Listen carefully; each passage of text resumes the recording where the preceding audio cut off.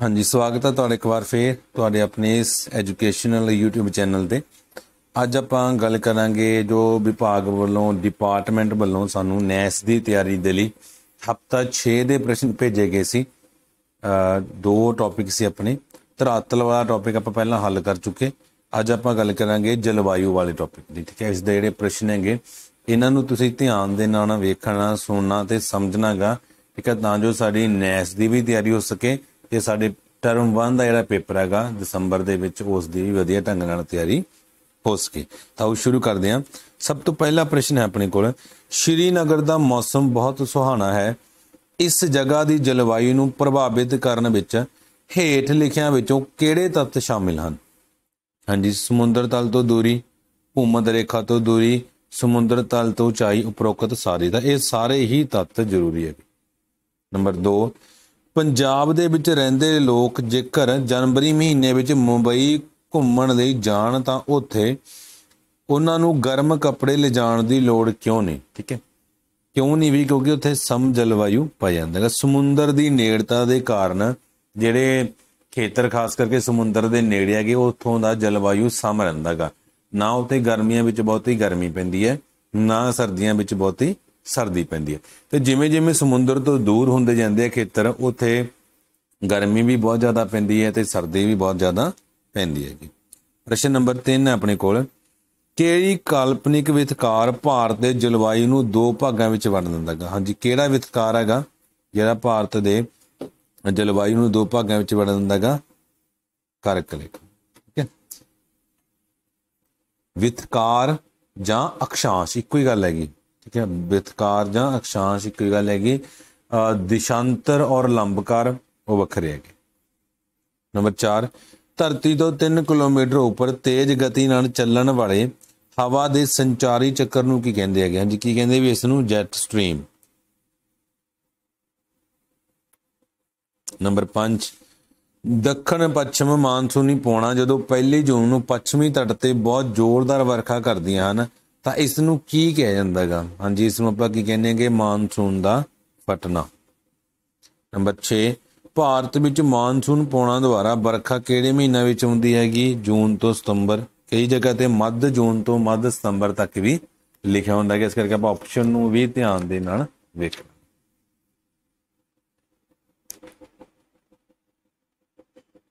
ਪ੍ਰਸ਼ਨ ਨੰਬਰ 7 ਖਾੜੀ ਬੰਗਾਲ ਜਾਂ ਅਰਬ ਸਾਗਰ ਵਿੱਚ ਊਸ਼ਨ ਚੱਕਰਵਾਤਾਂ ਕਾਰਨ ਪੈਦਾ ਹੋਏ ਖੁਸ਼ਕ ਸਮੇਂ ਨੂੰ ਕੀ ਕਿਹਾ ਜਾਂਦਾ ਹੈਗਾ ਹਾਂਜੀ, ਜਿਹੜਾ ਖੁਸ਼ਕ ਸਮਾਂ ਹੁੰਦਾ ਹੈਗਾ ਠੀਕ ਹੈ ਉਸ ਨੂੰ ਅਸੀਂ ਕੀ ਕਹਿੰਦੇ ਹੈਗੇ? ਮਾਨਸੂਨੀ ਰੁਕਾਵਟ। ਠੀਕ ਹੈ ਇਹਨੂੰ ਮਾਨਸੂਨੀ ਤੋੜ ਵੀ ਕਹਿੰਦੇ ਨੰਬਰ 8 ਦੇਸ਼ ਦੀ ਸਭ ਤੋਂ ਵੱਧ ਵਰਖਾ ਲਗਭਗ 1000 ਸੈਂਟੀਮੀਟਰ ਕਿਸ ਰਾਜ ਵਿੱਚ ਹੁੰਦੀ ਹੈ? ਹਾਂਜੀ, ਕਿੱਥੇ ਹੁੰਦੀ ਹੈ ਵੀ? ਮੇਘਾਲਿਆ। ਮੇਘਾਲਿਆ ਦੇ ਵਿੱਚ ਇੱਕ ਸਥਾਨ ਸੀ, ਪਹਿਲਾਂ ਚਿਰਾਪੂੰਜੀ, ਹੁਣ ਚਿਰਾਪੂੰਜੀ ਦੇ ਨੇੜੇ ਇੱਕ ਹੋਰ ਸਥਾਨ ਹੈਗਾ ਮਾਸਿਨ ਰਾਮ ਠੀਕ ਹੈ ਮਾਸਿਨ ਰਾਮ ਦੁਨੀਆ ਦਾ ਸਭ ਤੋਂ ਵੱਧ ਵਰਖਾ ਪ੍ਰਾਪਤ ਕਰਨ ਵਾਲਾ ਸਥਾਨ ਹੈਗਾ। ਕਿ ਤੁਹਾਨੂੰ ਪ੍ਰਸ਼ਨ ਪੁੱਛਿਆ ਜਾ ਸਕਦਾ ਹੈਗਾ, ਦੁਨੀਆ ਦੀ ਸਭ ਤੋਂ ਵੱਧ ਵਰਖਾ ਜਾਂ ਭਾਰਤ ਦੀ ਸਭ ਤੋਂ ਵੱਧ ਵਰਖਾ ਕਿਸ ਸਥਾਨ ਤੇ ਹੁੰਦੀ ਹੈ? ਫਿਰ ਆਪਾਂ ਲਿਖਾਂਗੇ ਮਾਸਿਨ ਰਾਮ। ਪ੍ਰਸ਼ਨ ਨੰਬਰ 9 ਭਾਰਤੀ ਮੌਸਮ ਵਿਭਾਗ ਨੇ ਦੇਸ਼ ਅੰਦਰ ਮਿਲਣ ਵਾਲੇ ਸਾਰੇ ਸਾਲ ਦੇ ਜਲਵਾਯੂ ਨੂੰ ਮਾਨਸੂਨ ਪੌਣਾ ਦੇ ਆਧਾਰ ਤੇ ਕਿੰਨੇ ਕਿਸਮ ਦੇ ਮੌਸਮਾਂ ਵਿੱਚ ਵੰਡੇਗਾ ਚਾਰ ਕਿਸਮ ਦੇ ਮੌਸਮ ਨੇ। ਨੰਬਰ 10 ਸਰਦੀਆਂ ਦੇ ਮੌਸਮ ਦੇ ਵਿੱਚ ਦੇਸ਼ ਦੇ ਮੈਦਾਨੀ ਭਾਗਾਂ ਵਿੱਚ ਸ਼ੀਤ ਲਹਿਰ ਦੇ ਚੱਲਣ ਦਾ ਕਾਰਨ ਕੀ ਹੈ? ਵੀ ਕੱਕਰ ਠੀਕ ਹੈ? ਪੂਰਾ ਕਹਿੰਦੇ ਨੇ ਇਹਨੂੰ ਅਸੀਂ। ਪ੍ਰਸ਼ਨ ਨੰਬਰ 11 21 ਮਾਰਚ ਤੋਂ ਬਾਅਦ ਸੂਰਜ ਦੀਆਂ ਕਿਰਨਾਂ ਕਰਕ ਰੇਖਾ ਤੇ ਸਿੱਧੀਆਂ ਪੈਣ ਕਾਰਨ ਉੱਤਰ ਪੱਛਮੀ ਭਾਗਾਂ ਦਾ ਤਾਪਮਾਨ ਕਿੰਨੇ ਡਿਗਰੀ ਤੱਕ ਵੱਧ ਜਾਂਦਾਗਾ ਹਾਂਜੀ, ਕਿੰਨੇ ਡਿਗਰੀ ਤੱਕ ਵੱਧ ਜਾਂਦਾ ਵੀ 40 ਡਿਗਰੀ ਤੱਕ? ਨੰਬਰ 12 ਮਈ ਅਤੇ ਜੂਨ ਮਹੀਨਿਆਂ ਵਿੱਚ ਉੱਤਰ ਪੱਛਮੀ ਭਾਗਾਂ ਤੋਂ ਆਉਣ ਵਾਲੀ ਅੱਤ ਦੀ ਗਰਮ ਪੌਣ ਜਾਂ ਹਵਾ ਨੂੰ ਕੀ ਕਹਿੰਦੇ ਨੇ? ਲੂ। ਨੰਬਰ 13 ਦੱਖਣੀ ਭਾਰਤ ਦੇ ਕੇਰਲ ਅਤੇ ਦੱਖਣੀ ਕਰਨਾਟਕ ਦੇ ਆਸ-ਪਾਸ ਦੀਆਂ ਸਮੁੰਦਰੀ ਪੌਣਾਂ ਮੋਟੀਆਂ ਬੂੰਦਾਂ ਵਾਲੀ ਪੂਰਬ ਮਾਨਸੂਨੀ ਵਰਖਾ ਕਰਦੀਆਂ ਹਨ।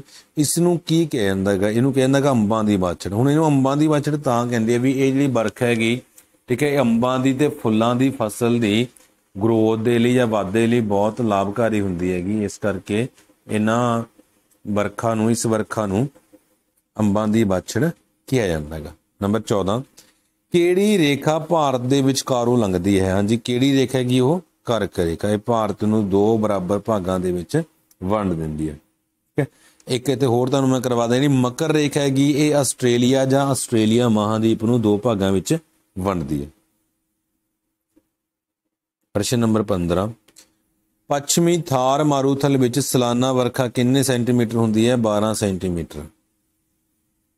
ਨੰਬਰ 16 ਇਸ ਦੀ ਹੋਂਦ ਦੇਸ਼ ਅੰਦਰ ਮਾਨਸੂਨੀ ਜਲਵਾਯੂ ਬਣਾਏ ਰੱਖਣ ਲਈ ਸਭ ਤੋਂ ਵੱਡਾ ਤੱਤ ਹੈਗਾ ਹਿਮਾਲਿਆ ਪਰਬਤ ਦੀ? ਕਿਉਂਕਿ ਜ਼ਿਆਦਾਤਰ ਹਿਮਾਲਿਆ ਜਿਹੜੀਆਂ ਮਾਨਸੂਨ ਪੌਣਾ ਨੇ ਹਿਮਾਲਿਆ ਪਰਬਤ ਨਾਲ ਟਕਰਾ ਕੇ ਹੀ ਭਾਰਤ ਦੇ ਵਿੱਚ ਵਰਖਾ ਕਰਦੀਆਂ ਨੇ।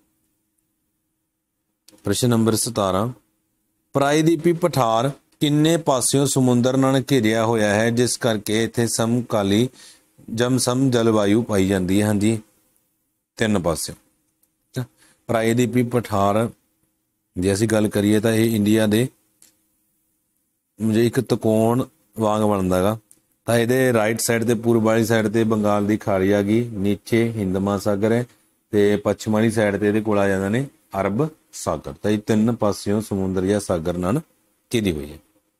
ਨੰਬਰ 18 ਭਾਰਤ ਦੇ ਕਿਹੜੇ ਰਾਜ ਵਿੱਚ ਅਪ੍ਰੈਲ ਤੋਂ ਲੈ ਕੇ ਸਤੰਬਰ ਤੱਕ ਵਰਖਾ ਹੁੰਦੀ ਹੈ?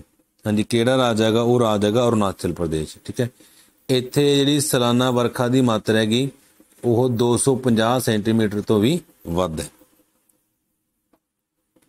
ਪ੍ਰਸ਼ਨ ਨੰਬਰ 19 ਉੱਤਰ ਪੱਛਮੀ ਲੂ ਅਤੇ ਖਾੜੀ ਬੰਗਾਲ ਦੀ ਸਿੱਲੀ ਹਵਾ ਨਾਲ ਪੈਦਾ ਹੋਏ ਤੂਫਾਨੀ ਚੱਕਰਵਾਤਾਂ ਨੂੰ ਪੱਛਮੀ ਬੰਗਾਲ ਵਿੱਚ ਕੀ ਕਿਹਾ ਜਾਂਦਾ ਹੈ ਹਾਂਜੀ, ਕੀ ਕਹਿੰਦੇ ਨੇ ਪੱਛਮੀ ਬੰਗਾਲ ਦੇ ਵਿੱਚ ਇਹਨੂੰ? ਕਾਲ ਬੈਸਾਖੀ। ਪ੍ਰਸ਼ਨ ਨੰਬਰ 20 ਭਾਰਤ ਦੇ ਕਿਸ ਰਾਜ ਦੇ ਤਟੀ ਭਾਗਾਂ ਤੇ ਸਰਦੀਆਂ ਦੀਆਂ ਉੱਤਰ ਪੂਰਬੀ ਮਾਨਸੂਨ ਪੌਣਾ ਗਰਮੀ ਦੀਆਂ ਦੱਖਣ ਪੱਛਮੀ ਮਾਨਸੂਨ ਪੌਣਾ ਦੇ ਮੁਕਾਬਲੇ ਵੱਧ ਵਰਖਾ ਕਰਦੀਆਂ ਨੇ? ਹਾਂਜੀ, ਕਿਹੜਾ ਭਾਗ ਹੈਗਾ? ਉਹ ਭਾਗ ਹੈਗਾ ਤਾਮਿਲਨਾਡੂ ਦਾ। ਠੀਕ ਹੈ? ਕੋਰੋਮੰਡਲ ਤੱਟ। ਜਿਹੜਾ ਕੋਰੋਮੰਡਲ ਤੱਟ ਬਣਦਾ ਬਣਦਾਗਾ ਠੀਕ ਹੈ? ਉੱਥੇ। ਪ੍ਰਸ਼ਨ ਨੰਬਰ 21 ਮਾਨਸੂਨੀ ਪੌਣਾ ਦੀਆਂ ਹੇਠ ਲਿਖਿਆਂ ਵਿੱਚੋਂ ਕਿਹੜੀਆਂ ਵਿਸ਼ੇਸ਼ਤਾਵਾਂ ਸਹੀ ਨੇ? ਅਸਥਿਰਤਾ ਖੁਸ਼ਕ ਅੰਤਰਾਲ ਅਸਮਾਨ ਵੰਡ, ਉਪਰੋਕਤ ਸਾਰੇ। ਇਹ ਸਾਰੀਆਂ ਹੀ ਸਹੀ ਨੇ।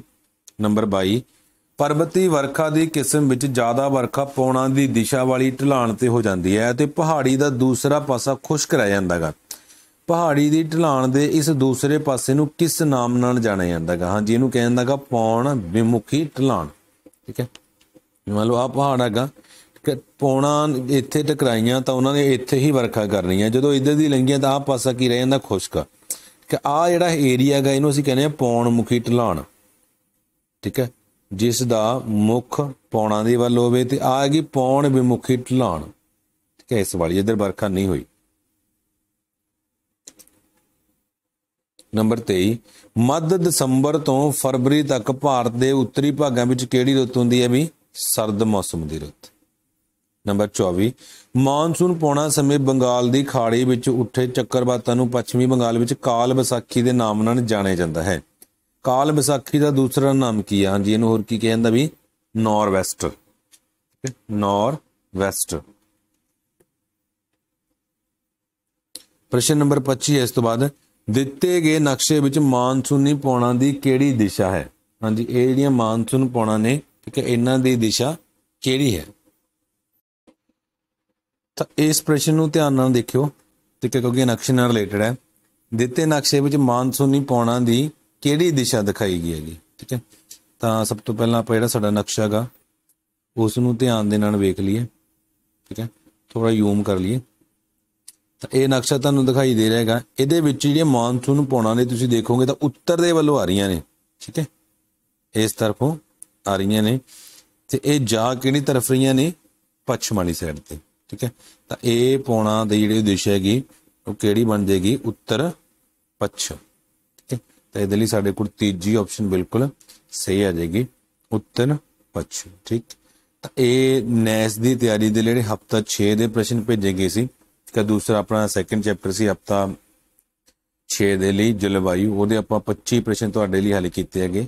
ਕਿ ਉਮੀਦ ਹੈ ਇਹ ਵੀਡੀਓ ਤੁਹਾਨੂੰ ਪਸੰਦ ਆਏਗੀ ਤੇ ਤੁਹਾਡੀ ਤਿਆਰੀ ਦੇ ਵਿੱਚ ਵੀ ਇਹ ਪ੍ਰਸ਼ਨ ਹੈਲਪਫੁਲ ਹੋਣਗੇ।